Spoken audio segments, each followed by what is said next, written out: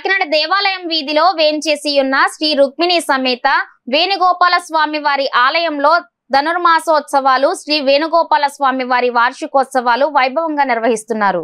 ఈ సందర్భంగా స్వామివారు నిజరూప అవతారంలో భక్తులకు దర్శనమిచ్చారు.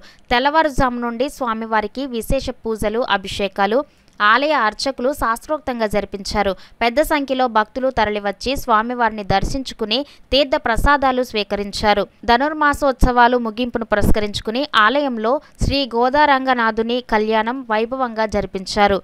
ఆలయంలో ఏర్పాటు చేసిన ప్రత్యేక వేదికపై స్వామి అమ్మవార్ల ఉత్సవ విగ్రహాలకు అర్చకులు వేద పండితుల మంత్రోచ్చరణల నడుమ స్వామి అమ్మవార్ల కళ్యాణం కనుల పండుగగా జరిగింది. ఈ సందర్భంగా ఆలయ దర్శకర్త రామలింగేశ్వరరావు మాట్లాడుతూ ధనుర్మాసోత్సవాలకు సహకరించిన ప్రతి ఒక్కరికి కృతజ్ఞతలు తెలియజేశారు.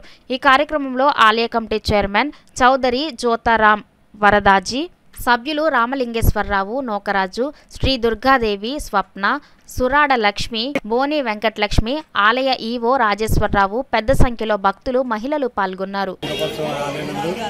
ఈరోజు గోదావరంగనాథుడి కళ్యాణం చాలా ఘనంగా నిర్వహించడం జరిగింది.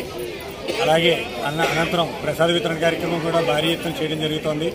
మాకు ఈ నెలల్లో సహకరించిన మా కమిటీ మెంబర్లకి అలాగే ఈఓ అది ఈవో గారికి అలాగే స్థానిక ఎమ్మెల్యే వారపూడి చంద్రశేఖర్ రెడ్డి గారికి ఎంపీ గీతా మేడం గారికి అలాగే కాకినాడ చైర్ చైర్పర్సన్ రాయిరెడ్డి చంద్రకళాదీప్తి గారికి అలాగే మాజీ కార్పొరేటర్ వార్డు మాజీ అరుణ్ గారికి కూడా మా కంపెనీ ధన్యవాదాలు తెలుపుకుంటున్నాం.